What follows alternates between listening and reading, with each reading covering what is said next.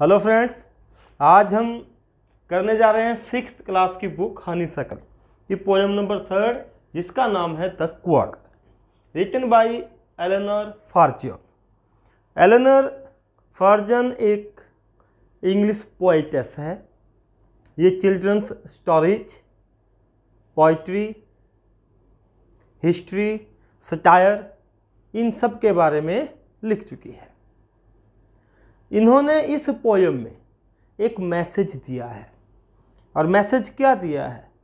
कि सभी भाई बहनों के बीच में सिबलिंग्स सिबलिंग्स किसको बोलते हैं? भाई बहनों को, के बीच में झगड़े होते रहते हैं। दे क्वर्ल वे झगड़ते हैं but they have hidden love लेकिन उनके अंदर छिपा हुआ प्यार होता है। वे एक दूसरे से बहुत प्यार करते हैं।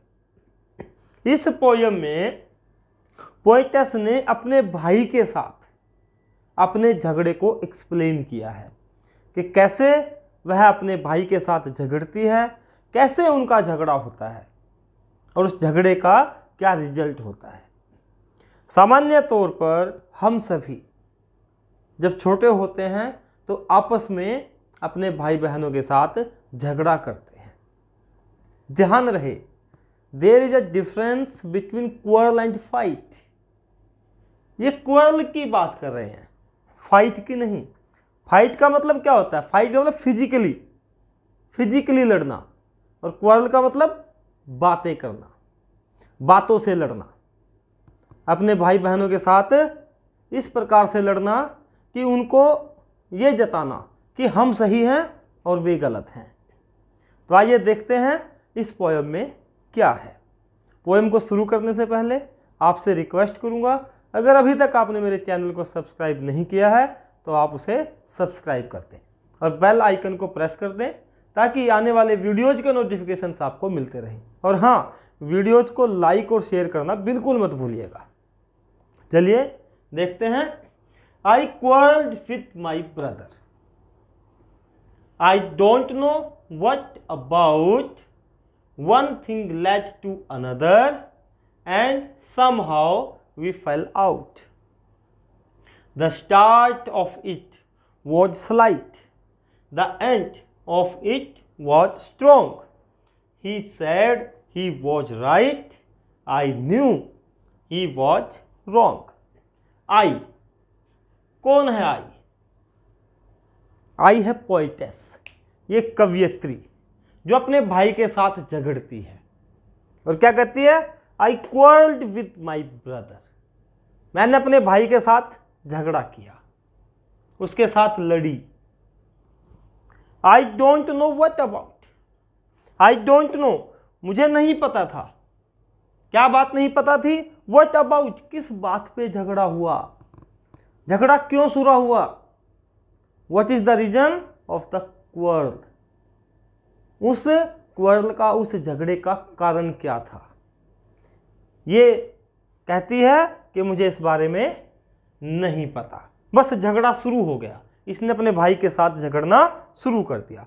One thing led to another एक चीज़, एक बात। जिस बात पे झगड़ा हुआ, किस बात पे चली गई? लेड टू अनदर एक बात से दूसरी बात होती चली गई, फिर तीसरी बात, फिर अगली बात। और इस प्रकार से बातें बढ़ती चली गई। एक बात के साथ जिस बात पे झगड़ा हुआ होगा रीजन तो पता ही नहीं है, उस बात से दूसरी बात, फिर तीसरी बात, इस प्रकार से झगड़ा बढ़ता चला गया। जैसे छोटे छोटे बच्चों में कई बार झगड़ा होता है। इसने मेरी पेंसिल उठा ली, उसने उसका बैग उठा लिया, उसने उसका ज्योमेट्री बॉक्स छिपा लिया, उसने उसका समोसा खा लिया, एक बात से दूसरी बात। यानी कि झगड़ा इस प्रकार से बढ़ता चला गया। One thing led to another. एक चीज़ दूसरी चीज़ से जुड़ती चली गई और झगड़ा आगे बढ़ता चला गया। And somehow we fell out fell out drop down गिर जाना। लड़ते लड़ते, झगड़ते झगड़ते दोनों क्या हो गए? गिर गए। दोनों भाई बहन आपस में नीचे गिर गए। और ये बहन ऐसा हमें बता रही है कि किस प्रकार से उसका अपने भाई के साथ झगड़ा होता है और झगड़े का क्या कारण है, ये बिल्कुल नहीं पता है। एक चीज़ से दूसरी चीज़ और दूसरी से तीसरी चीज़, इस प्रकार से झगड़ा बढ़ता चला गया और वे दोनों नीचे गिर गए। The start of it start शुरू होना। ऑफ़ इट इट मतलब क्वर्ल झगड़ा। वॉज़ स्लाइट स्लाइट कोई सीरियस नहीं होना। कि झगड़ा जब शुरू हुआ था तो वो सीरियस नहीं था, वो स्लाइट कोई छोटी सी बात थी, कोई ज़्यादा इंपॉर्टेंट बात नहीं थी। क्या थी? एक सीरियस बात नहीं थी कि भाई सीरियस कोई मैटर है सीरियस बात पे झगड़ा हो रहा है, ऐसा कुछ नहीं था। झगड़ा किसी छोटी सी बात पे शुरू हुआ था। The end of it end of it और इसका एंड इट झगड़ा इट यहाँ किसके लिए हुआ है? झगड़े के लिए। कहते हैं, इस झगड़े का एंड बड़ा सीरियस हो गया। बात बढ़ते बढ़ते बहुत ज़्यादा गंभीर हो गई। इतनी ज़्यादा गंभीर हो गई कि दोनों एक दूसरे से बात भी करना पसंद नहीं कर रहे थे अब। He said he was right ये लड़की क्या कहती है जो अपने भाई के साथ लड़ रही है? ये पॉइटस क्या कहती है? कि मेरे भाई ने क्या कहा? ही सैड ही किसके लिए प्रयोग हुआ है? ब्रदर के लिए। किसके भाई ने इसको क्या कहा? ही वॉज़ राइट कि वो ठीक है। इस लड़के के भाई ने इसको कहा कि ही वॉज़ राइट वो ठीक है, तुम गलत हो। आई न्यू आई कौन है? ये लड़की बता रही है। I knew he was wrong लड़की कहती है कि नहीं, मुझे पता था कि मेरा भाई गलत था। ही वॉज़ रॉन्ग कि वो तो गलत था। हमने क्या देखा? कि झगड़ा शुरू हुआ एक बहन का अपने भाई के साथ।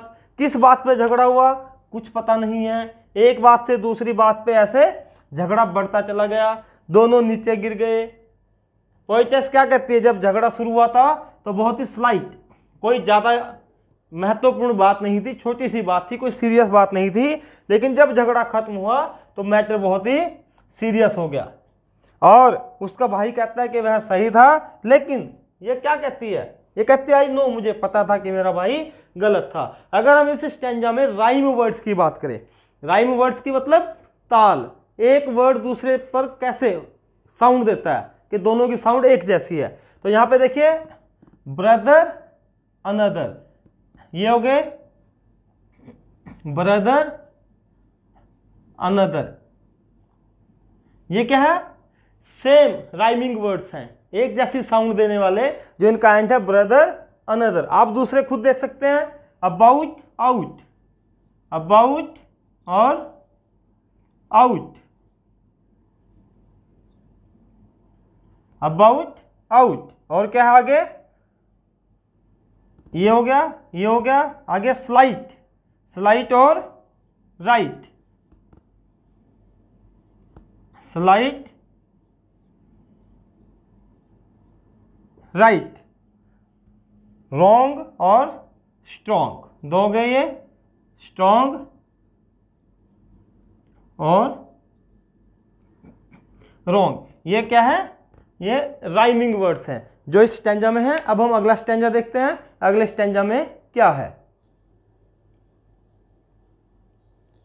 आइए देखते हैं कि आगे पोइटेस वो लड़की जो अपने भाई के साथ झगड़ा करती है, जिसका अपने भाई के साथ झगड़ा हुआ है, हमें उस झगड़े के बारे में क्या बताती है?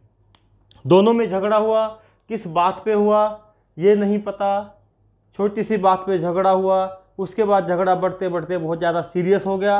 अब दोनों एक दूसरे के साथ बात नहीं कर रहे हैं। झगड़ा इतना हो गया है कि we hated one another we कौन है यहाँ पर? ब्रदर और सिस्टर अब क्या करें कि हमारे बीच में इतना झगड़ा हुआ वी हेटेड वन अनदर हम एक दूसरे से हेट करने लग गए। नफरत करने लग गए। बातचीत पंथ अक्सर ऐसा ही होता है भाई बहनों के बीच में। आप लोगों के घरों में भी आपके भाई बहनों के बीच में ऐसा ही होता होगा। The afternoon turn black afternoon turn black afternoon black हो गई। अब ये नहीं है कि दिन का समय है और ब्लैक कैसे हो गई? टर्न ब्लैक का मतलब यहाँ पे है अनप्लीजेंट अब उनको अच्छा नहीं लग रहा है। भाई बहन एक दूसरे से बात करना बंद कर देते हैं, लेकिन वो उनको अच्छा नहीं लिखती ये बात। क्यों नहीं लिखती ये बात अच्छी? क्योंकि वे एक दूसरे से बहुत ज़्यादा प्यार करते हैं। तो क्या कर रहे हैं कि हम एक दूसरे से सिर्फ़ नफरत करने लगे हैं? और हमारी जो आफ्टरनून है, जो दिन का समय है, वो कैसा हो गया? अनप्लीजेंट हो गया। कैसा हो गया? अनप्लीजेंट मधुर नहीं रहा स्वीट नहीं रहा। हमें, हमारा दिन हैप्पी नहीं लगा, खुश नहीं लगा। Then suddenly my brother suddenly अचानक अचानक क्या हुआ? My brother thumped me on the back thumped थप थपाना हिट करना। इसकी कमर पे आके थप थपाया इसके भाई ने, किसके भाई ने? इस पोइटेस के भाई ने, इस लड़की के भाई ने क्या किया? अचानक आया और इसकी कमर पे थप किया थप थपाना इसकी कमर पे उसने थप थपाया और क्या कहा? एंड सैड और क्या कहा इसके भाई ने? Oh, come along. अरे चलो, साथ में चलते हैं। मतलब क्या है? अब भाई अपनी बहन को मनाने आ गया है। और उठी हुई है। दोनों के बीच में झगड़ा हुआ है। कहता ओ, कम अलोंग। चलो मेरे साथ चलो। We can't go on all night दिन तो जैसे तैसे कट गया। दिन में तो हमने झगड़ा कर लिया। We can't go on all night अरे, रात भर हम एक दूसरे से अलग नहीं रह सकते। इस झगड़े को खत्म करो, क्योंकि वी कांट गो ऑन अब ये झगड़ा आगे नहीं चल सकता हमारे बीच में। क्यों नहीं चल सकता? क्योंकि हम एक दूसरे के बिना नहीं रह सकते। दिन बेकार हो गया है, हम अपनी रात को नाइट को बेकार नहीं करना चाहते। I was in the wrong I was in the wrong मैं गलत हूँ। आई किसके लिए यूज़ हुआ है? ब्रदर के लिए। अब उसका भाई बोल रहा है। अब उसका भाई, क्योंकि उसका भाई आया है और उसको क्या बोल रहा है? I was in the wrong कि मैं गलत था, मेरी गलती थी। अपनी बहन को मनाते हुए अपनी गलती एक्सेप्ट कर लेता है। So he was in the right और पॉइंटस क्या कहती है? वो भी सोच लेती है कि नहीं, ये गलत नहीं था, गलती तो मेरी ही थी। तो क्या कहती है? He was in the right अरे नहीं, वो तो बिल्कुल राइट था, सही था, मैं ही गलत थी। भाई आता है, आकर के अपनी गलती मान लेता है और कहता है कि दिन तो हमारा बेकार गुजर गया। हमारी पूरी दोपहर अनप्लेजेंट गई, उसकी पीठ को थपथपाता है और आकर के कहता है कि अब हम और झगड़ा नहीं कर सकते, हम एक दूसरे के बिना बातचीत किए बिना नहीं रह सकते। तो चलो ऐसा है, मेरी गलती थी। I was in the wrong अंत में गलती कौन मानता है? इसका भाई। और ये भी कहती है कि he was in the right इसको भी एहसास होता है कि नहीं वह गलत नहीं था, वह तो बिल्कुल राइट था, ठीक था। तो इस प्रकार से हमने देखा कि भाई बहनों के बीच में जो झगड़े होते हैं, वो अक्सर छोटी सी बात पे शुरू हो जाते हैं पैटी इश्यूज़ छोटी छोटी बातें, तुच्छ सी बातें होती हैं, जिनका कोई सिर पैर नहीं होता और बाद में वो सीरियस हो जाते हैं। लेकिन उन मैटर के सीरियस होने के बावजूद भी वे भाई बहन ज़्यादा समय तक एक दूसरे के साथ बातचीत किए बिना नहीं रह सकते। और उसका मेन रीज़न क्या है? दे लव वेरी मच कि वे एक दूसरे को बहुत ज़्यादा प्यार करते हैं। इसमें भी अगर हम इसकी बात करें कि इसमें राइमिंग वर्ड्स कौन से हैं, एक तो अनदर के साथ क्या आ गया? ब्रदर ब्लैक के साथ क्या आ गया? बैक एक जैसे राइमिंग वर्ड्स हैं। और नाइट के साथ क्या आ गया? राइट अलोंग के साथ क्या आ गया? रॉन्ग तो इस प्रकार से ये इनके राइमिंग वर्ड्स हैं। आई होप कि आपको पूरी पोएम समझ में आई होगी। आप वीडियो को लाइक करें शेयर करें चैनल को सब्सक्राइब करें। Thank you have a nice time